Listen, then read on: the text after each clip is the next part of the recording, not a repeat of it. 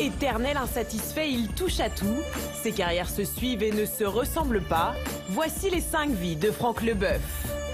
La première, le footballeur. Tout le monde se souvient, c'était en 98. Franck Leboeuf est champion du monde avec l'équipe de France. 17 ans chez les pros, il joue 5 saisons dans le prestigieux club de Chelsea avant de terminer sa carrière au Qatar. Sportif reconnu, il s'accomplit dans les affaires, conférencier, La vie nous met des gifles, parce que la vie, elle n'est pas facile. mannequin et même modèle pour le salon du chocolat en France. Il ne rate pas une occasion de transformer sa notoriété en Et or. si on le sélectionne, c'est pour ses signes officiels de qualité. C'est le bœuf. On l'avait encore jamais faite, celle-là. Il sort aussi son premier livre en 2002 intitulé Destin quand je te tiens. Comme nouveau destin, il choisit une vie d'artiste.